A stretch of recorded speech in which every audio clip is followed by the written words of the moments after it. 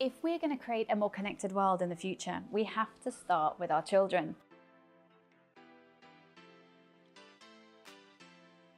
Last year, I created our first ever primary school curriculum for social emotional learning, specifically looking at empathy. We know that empathy can create connection in our world and our communities, but specifically for children, we also know that it drives self-belief, self-confidence, and communication skills. Learning empathy in schools allows children to learn those skill sets, both to understand themselves and communicate their needs, but also understand those of others. As small children, being able to understand the reality of somebody else's feelings or emotions that they don't feel themselves is a skill set that they have to learn. This doesn't come naturally. I believe it's critical for our teachers and our caregivers to be able to role model, but also teach these listening and empathy skills to our children because these are skills that are going to last them lifelong in terms of connecting and understanding others. And if there weren't any other reasons, the data also shows that increased empathy in our education system reduces segregation and bullying and drives more diverse and inclusive